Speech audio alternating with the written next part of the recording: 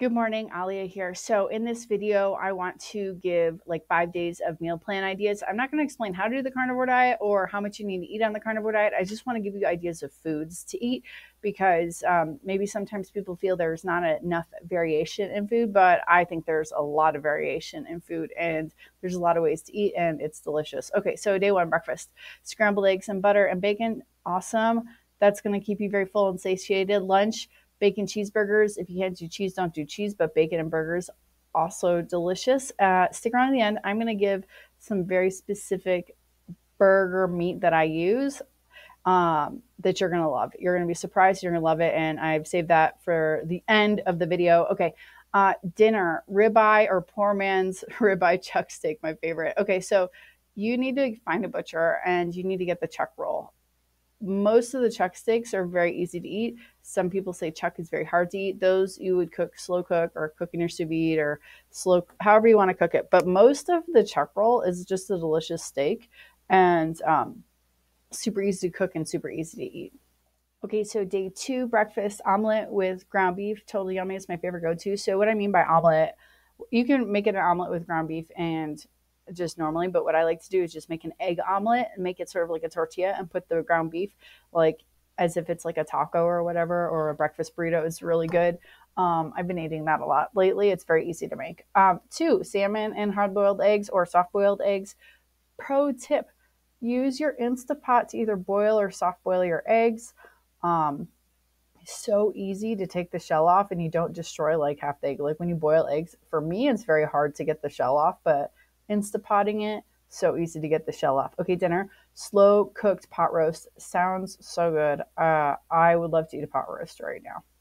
Day three, uh, breakfast, soft boiled eggs and pork chops. Yes, you can eat them for breakfast. Uh, lunch could be chicken liver saute with butter, uh, with ground beef and bacon. It's totally delicious. I have a video about that, and I will put the link for that video if you're interested in the description so you can see how to do it. But basically, that's how you do it. It's really easy. Uh, so delicious. Dinner could be beef brisket. Absolutely amazing. So good. Such a fatty, delicious meal. Day four, you can eat my delicious chaffle. It's chicken, eggs, and cheese, and you make it into a waffle. I will put the, the video for that in the description if you want to watch that and see how to make it. It's super simple. Lunch, you could try Courtney Luna's tuna melt, also delicious. And I will look for that video as well and put that in the description. And dinner is corned beef, one of my favorite amazing ways to eat beef. So good. And now we've arrived to day five, and I will call this the sausage day. So, breakfast is uh, an omelet uh, with whatever you want uh, carnivore, maybe some cheese or whatever, or you can do a cheese and breakfast sausage omelet because I'm talking about breakfast sausage.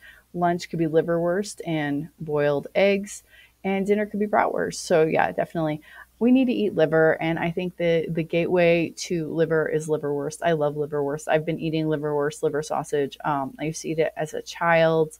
Uh, i loved it. I would eat it straight out of the uh, container out of like the little tube. I still do that. Uh, and bratwurst.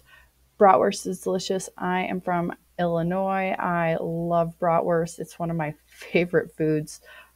Delicious. Um, on any of these things, the breakfast sausage or the liverwurst or the bratwurst, you want to get the best quality possible. You want to look at the ingredients and read them just to make sure you're not getting other stuff that's bad for the body in there.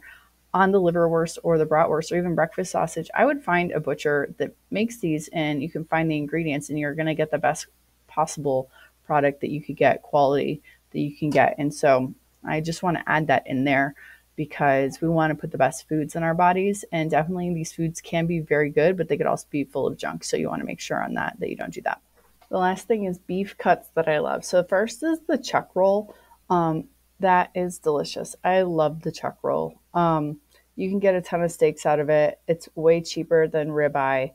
Um, only parts of the chuck are very hard to eat, like very duro. Uh, sorry, hard to eat. Um, there's the Spanish coming out. And the rest of it's very easy to eat, and it's actually like a steak, and it only takes like a few minutes to cook up. So it's awesome. On the parts that are harder, you can like slow cook them, or you can cook them with your sous vide for however long you want. Toss it in the oven, slow cook it, whatever. But most of that chuck roll is going to be delicious steaks. Okay, two, ground brisket go to your butcher. Find a butcher that you love and that's going to help you on your carnivore journey. Ground brisket is delicious fatty meats to make some excellent burgers out of. Uh, ground neck. I don't know the like the technical term for that part. Again, ask your butcher. But ground neck is very fatty. So between those two, you can get a very fatty, delicious uh, hamburger. I like this next one to mix with either the brisket or the neck and its armpit. Again, ask your your butcher what it's really called, but it's this very soft part uh, and it's not very fatty. So I like to mix the brisket and the armpit or mix the neck with the armpit so that I can have like a balance because just ground brisket is a little too for the texture it's a little too fatty for me but the combination of the armpit and brisket or neck is awesome and I think you will love it. I would like to know what your favorite go-to carnivore meals are. Let me know in the comments uh, and let me know if you like this video. Give me a like and I would love a subscribe. Thank you so much.